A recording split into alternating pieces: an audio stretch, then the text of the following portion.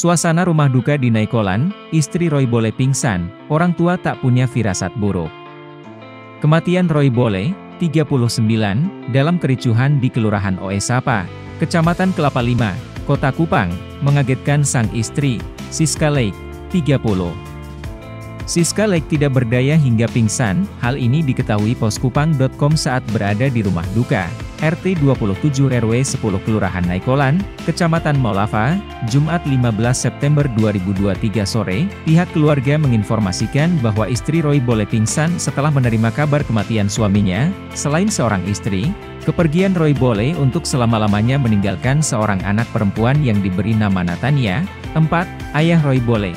Cornelis Bole tidak menyangka anaknya menjadi korban dalam kericuhan di Kelurahan Oesapa, Jumat siang Cornelis Bole tampak sedih dan terpukul atas kepergian anak kelima dari delapan bersaudara itu, Ibu Roy Bole, Yakoba Bole Amalo juga larut dalam kesedihan, matanya sembab dan merah. Orang tua Roy Bole mengaku tidak memiliki firasat sebelum mendapat kabar duka, Cornelis Bole mengatakan, dalam kesehariannya, Roy boleh bekerja sebagai sopir mobil Maxim, ia belum bisa memastikan penyebab kematian anaknya.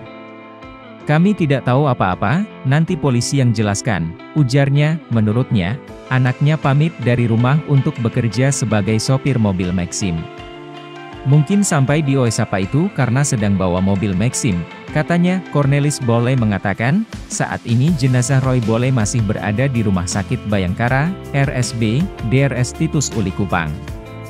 Nanti akan dibawa ke sini, ucapnya, sementara sejumlah warga mulai mendatangi rumah duka. Di halaman, dipasang tenda duka. Suasana haru menyelimuti di wilayah RT 27 RW 10 Kelurahan Naikolan.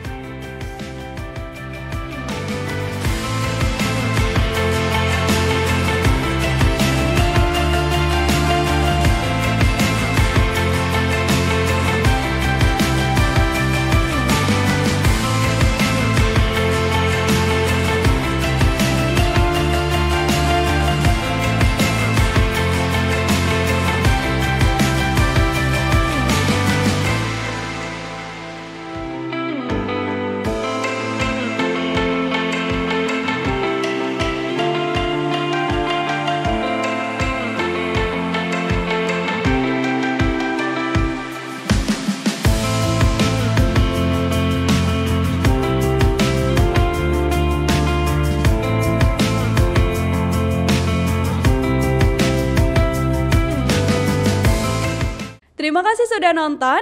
Jangan lupa like, subscribe, dan share ya.